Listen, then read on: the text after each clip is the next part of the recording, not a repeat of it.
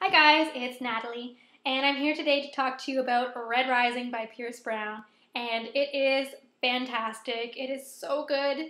If you love dystopian or science fiction, or you're a fan of the Hunger Games, you need to read this book right now. The story takes place on Mars in the future, and it focuses on Darrow. Darrow's a 16 year old who belongs to a colony known as the Reds.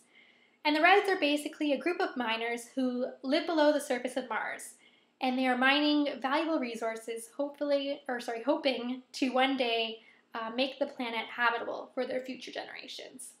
Unfortunately, however, Darrow finds out that him and all the other Reds have been lied to. Mars is habitable and has been for generations already, but instead of telling them the truth, the Golds, who are the leaders of this society, have kept the Reds in the dark and have been using them instead as slave labor. When Darrow finds this out, he is obviously pissed. I would be too. But instead of telling the other Reds, um, he realizes that there is no possible way the Reds could ever rebel against the Golds and win. The Golds are genetically stronger, they have huge armies, and they are just trained for combat. The Reds would be slaughtered. So instead, Darrow goes undercover uh, and joins a gold combat school hoping to one day uh, take down the golds from the inside. So he puts his plan into action. He joins this combat school, and it is literally a battlefield. Basically, all the students are placed in different teams and pitted against each other until one team has defeated all of the others.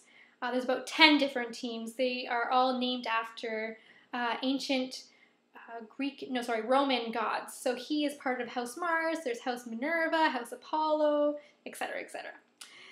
And it gets really intense. Um, me and my coworker were talking about it today, actually, and we both, you know, mentioned the fact that it's kind of similar to the Hunger Games in, you know, the fact that kids are pitted against each other to the death, and you know all this strategy that's going on. And there's even actually a character in the book who's very much like Haymitch, so we thought that was kind of interesting, the similarities. But we both agreed that, you know, even though it's like the Hunger Games, this is its own book. And it's even maybe better than the Hunger Games uh, because it's an adult novel. So the language is more eloquent, more developed, and the book is grittier, which is the word my coworker used, and I thought was a fantastic way to describe it. This is a gritty book. It gets into the details that The Hunger Games never could as a young adult novel. I mean, it hints at some of the violence going on, but you don't really get a full picture of it.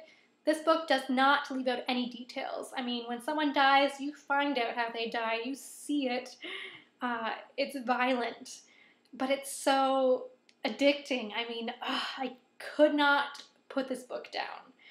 Um, the only thing I didn't like about it was the first maybe 30 or 40 pages were a bit slow uh, when, it, when Darrow was living below the surface of Mars still. But once he found out the truth and put his plan into action, there was no way I was putting this book down at all.